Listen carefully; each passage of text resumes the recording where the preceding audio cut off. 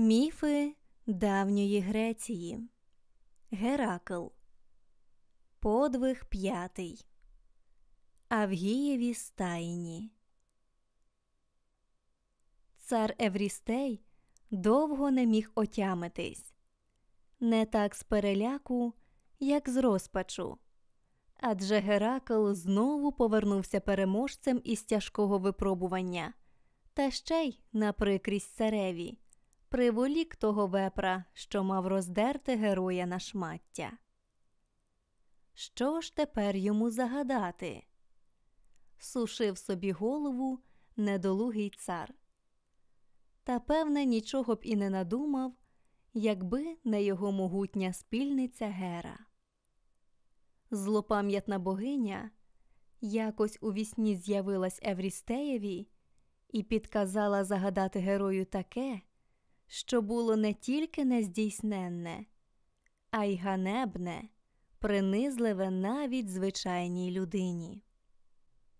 Ще й на світ не світилось, як втішений Еврістей послав свого оповісника Копрея до Геракла з суворим наказом Іти негайно в Еліду до царя Авгія і за один день вичистити в нього всі стайні. Зачувши цей дивний наказ, Геракл аж спаленів з образи. Чистити стайні? обурено крикнув він. Що ти копрею верзеш? Та враз герой урвав собі мову, помітивши глузливу посмішку царського оповісника. Обличчя в Геракла пашіло гнівом. Та він понурив важке чоло і навіть не чув, коли копрей пішов. Так, кара богів страшна, але його власна провина, що й досі незрушним тягарем лежить на серці, ще страшніша. То хіба він може відмагатися від хай найгіршої, хай найганебнішої спокути? Цар Еврістей глузує зі своїми прислужниками. То й що? Треба не зважати на них, а чинити Зевсову волю. Дорогою до Еліди Геракл пригадував, що чув про володаря тієї країни. Цар Авгій, син сонцесяйного Геліоса, був неймовірно багатий а надто на всяку худобу. Тьма тьменна її паслася на зелених гірських полонинах та в долині річки Пенею. Царські табуни й отари були незліченні, мов хмари на осінньому небі. Тож, мабуть, і стайні ті величезні. Ніколи Геракл не цурався роботи, але його бентежила думка чи зможе він упоратися за один тільки день. В Елідії Геракл одразу подався не до палацу Авгія, а до його численних стаєнь, обведених міцним муром. Тільки тепер герой збагнув, яке важке діло загадав йому Еврістей.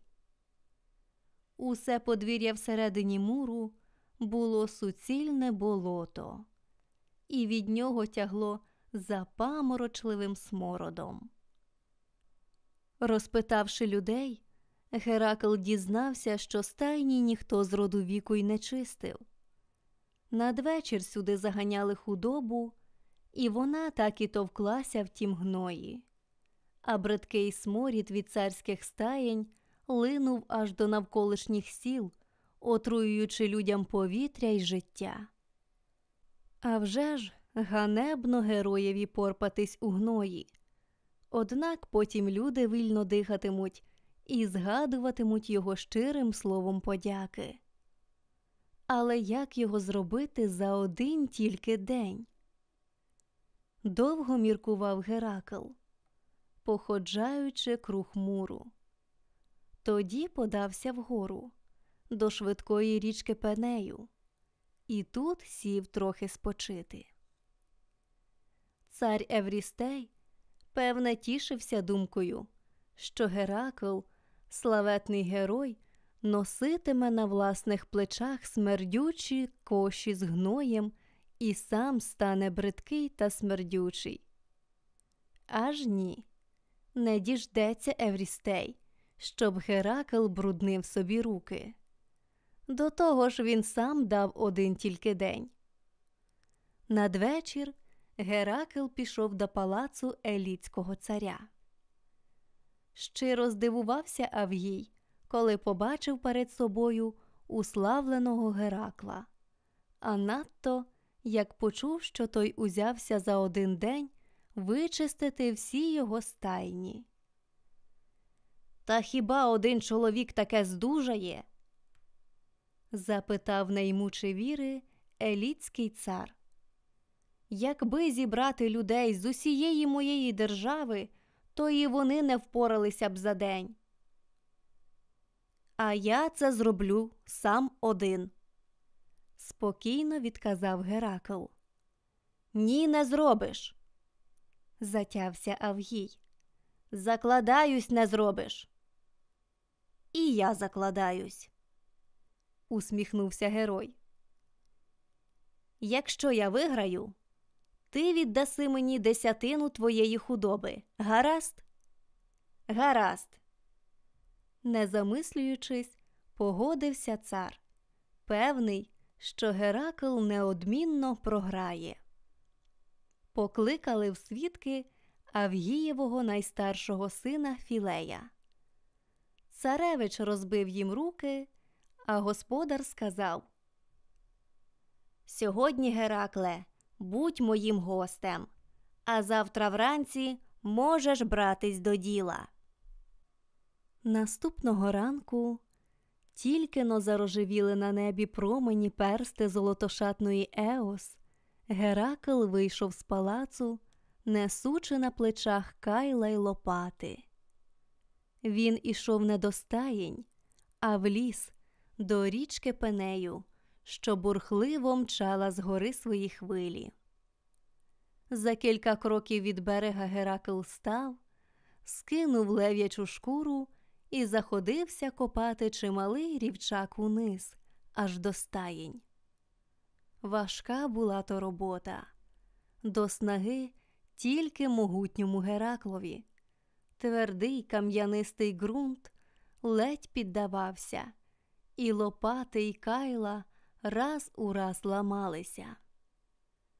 Цілий день, не розгинаючись, Геракл копав той рівчак, тільки поглядав часом на сонце, а тоді працював чимдуж далі. Докопавши рівчак аж до самих воріт царських стаєнь, Геракл нарешті спинився, обійшов мур і з протилежного боку вибив у ньому великий отвір. А тоді звелів челядникам не підпускати до стаєнь худоби, хоч сонце вже стояло на вечірньому прузі.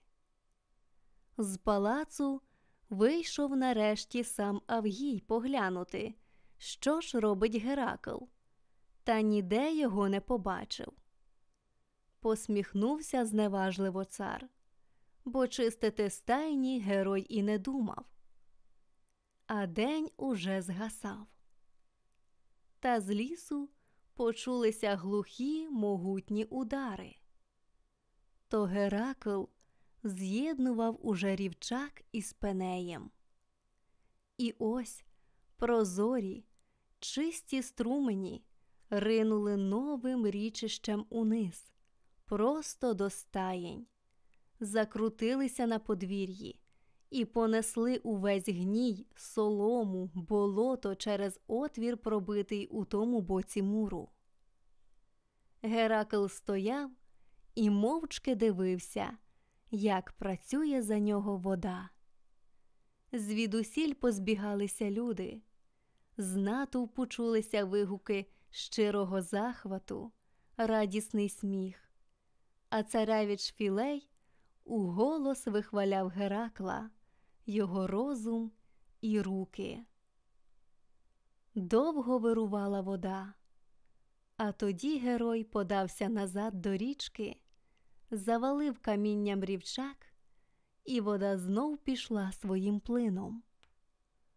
Усі стайні стояли чисті, вимиті водою, і останні промені призахідного сонця відбивалися у невеличких прозорих калюжах. А що, царю, програв? Весело крикнув Геракл до спухморнілого Авгія. Доведеться вранці твоїм пастухам відлічити мені десятину худоби, і я пожену її завтра додому. Чого поспішати? Гостюй іще в мене в Еліді, відказав знехотя цар. Ні, я не можу баритись. Адже Еврістей уже придумав, мабуть, мені якусь іншу роботу. То тебе прислав сюди Еврістей? жваво спитав Авгій. Чого ж ти тоді правиш із мене худобу? Хіба ми не закладалися? ображено мовив Геракл. «А вже ж закладались. Я тому свідок. Почувся дзвінкий голос, і царевич Філей став поруч героя. Припни язика. заволав люто Авгій на сина. Ану, геть мені сперед очей. Та царевич незрушно стояв біля Геракла, і Авгій аж зайшовся криком. Геть звідси обидва, геть обидва. Так цар Еліди втратив і гостя, і сина. Царевич Філей подався до родичів на острів Дуліхій, а Геракл, як слухняний раб, пішов до Мікен. Вислухавши його розповідь, цар Еврістей недбало сказав Чистити стайні то зовсім не подвиг. Іди но мерщій до стімфалійського лісу та повиганяй звідти міднокрилих птахів.